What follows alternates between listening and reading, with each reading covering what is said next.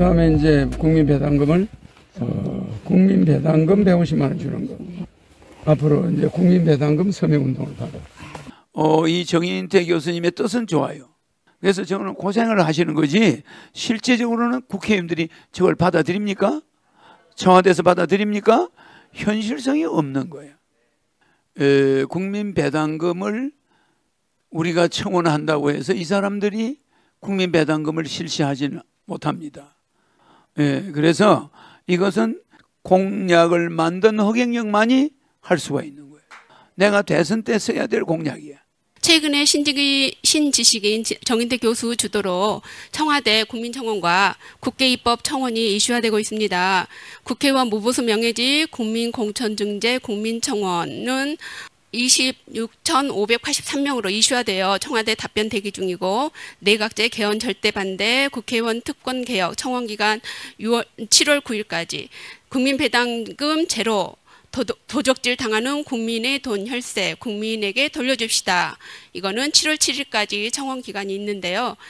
어, 그리고 국민 공천 증제 국회 국민 동의 청원이 진행되고 있는데 허경영 신의님의 고견을 들려주십시오. 이랬습니다. 정인태 교수님이 수고를 많이 하고 계신데 에, 국민 배당금을 우리가 청원한다고 해서 이 사람들이 국민 배당금을 실시하지는 못합니다. 왜?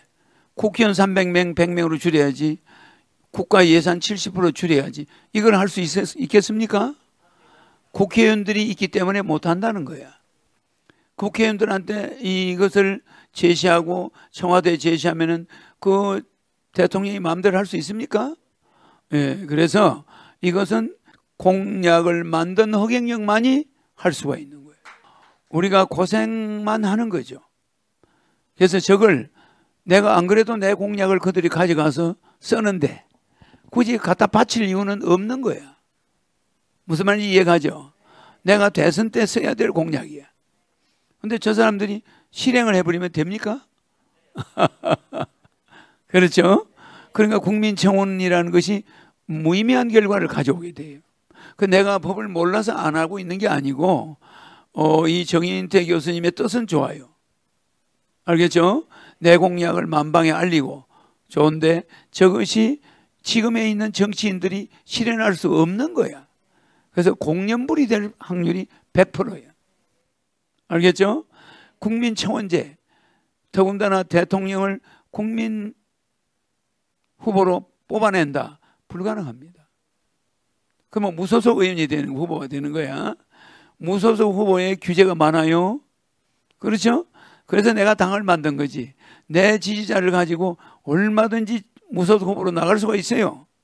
그는 뭐 국민들에게 하나의 이슈를 제공해서 국민들이 대통령 후보를 만들자.